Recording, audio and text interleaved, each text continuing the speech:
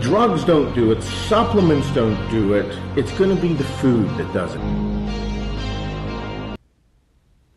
Alright, so this is a real quick video on uh, tuna once again. You see me cook albacore tuna.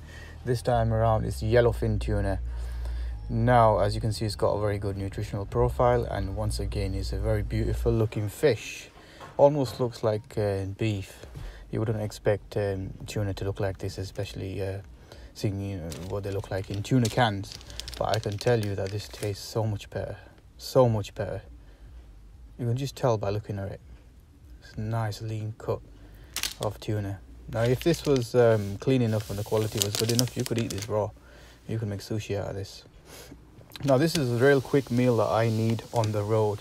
This is not a sit down meal, so I don't have time to sit down and eat this. It's either a choice between a shake or a sandwich or something, or this meal right here.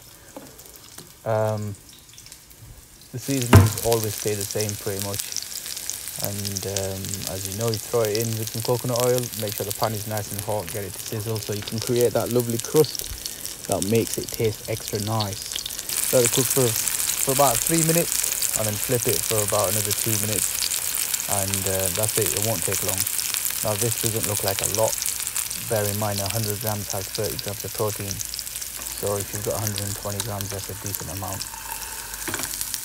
So yeah basically just take it out let it rest you can see the beautiful crust. It looks nothing like a tuna. If you overcook it it will taste more like tuna but the less you cook it the better. Obviously you want it cooked all the way through but um, the more you, uh, the less you cook it the better. It's just the juicier it's going to be. You can cut it up into smaller pieces but you're going to um, lose water weight and um, dry out a little bit.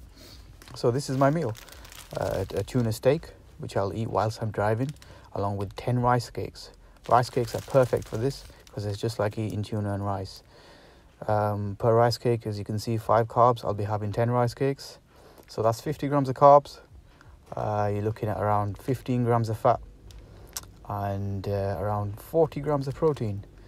And uh, I'll be drinking a, liter, a liter of water along with this meal. This will be a pre-workout meal.